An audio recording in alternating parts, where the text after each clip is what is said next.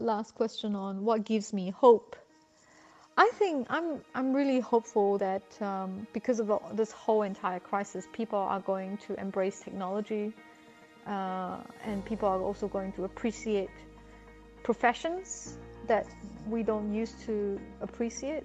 I mean, I'm, I'm not saying that I don't appreciate athletes or F1 or um, team sports or anything, uh, or fashion or anything. But if you think about it, you know, stripped to the core, all these things are not essential in life.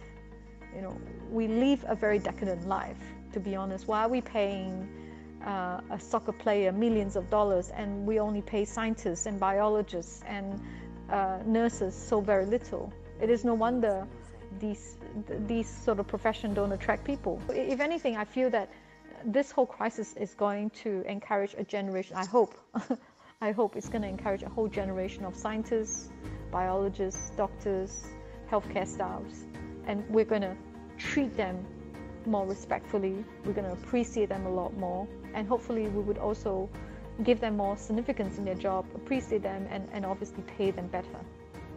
Um, that gives me hope because these are the people that's going to make a huge impact in our lives. Um, not these other, you know, other um, secondary uh, professions.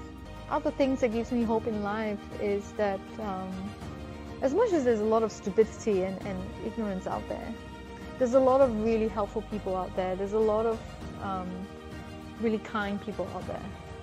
Uh, people are reaching out, going out, doing something. So it brings out the worst in us, but it also brings out the best in us and hopefully we would hear more stories of those you know the best of us because i think it's really easy to just kind of criticize and it's it's also easy to be an expert on hindsight. Everyone is an expert on hindsight. Oh the government should have done this. Oh this should have been done this way and so on and so forth. Fair enough right? But no one ever thought about the economic costs uh, and who's going to shoulder that burden. So taking responsibility is so important uh, this is also the time where you get to see who are the real leaders. So back to this topic that I love about leadership. Um, a leader is supposed to be really flexible, agile, and accountable during times like this. You have no room for confusion because you, you know, people are given all sorts of conflicting information, information overload. So they're looking for direction. They're looking for clarity. So as a leader, um, this is a good time to reflect. And we all have our own blind sides and our blind spots. Um, this is a great time actually to think about personal growth, uh, looking at yourself internally.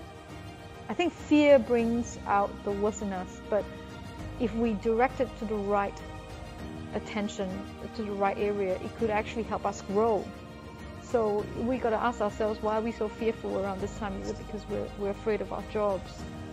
Um, is it because we're afraid of uncertainty? Then what is it that we need to fix, or, or what is it that we need to overcome internally to make sure that we are going to have a job at the end of this? How can we be creative? I, I believe we are what we make, and you know, human beings have proven time and time again to be extremely creative and resourceful.